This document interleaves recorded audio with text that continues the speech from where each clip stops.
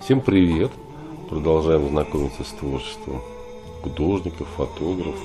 Косакамбе Кимбей, японский фотограф, более известен по своему личному имени Кимбей из-за того, что большинство клиентов были европейцами, не говорящими по-японски, а фамилия его была труднопроизносимая.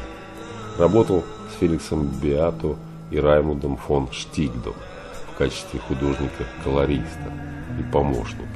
Я цитирую Википедию, все то, что мне удалось найти об этом фотографе. Открыл свою студию в Йокогаме в 1881 году. С 1889 года работал в районе Хамахи. Также он открыл офис в районе Гинза, города Токио. Приобрел некие негативы в 1885 году с видами Нагасаки у Феликса Биата и Штильфрида. Надо сказать, что его студия была одна из ведущих японских студий, поставляющих искусство западным клиентам. На многих фотографиях в каталоге студии изображены японские женщины, которые пользовались популярностью у туристов того времени. Кимбей предпочитал изображать женщин в традиционном стиле. Нанимал гейш, чтобы они позировали для фотографий.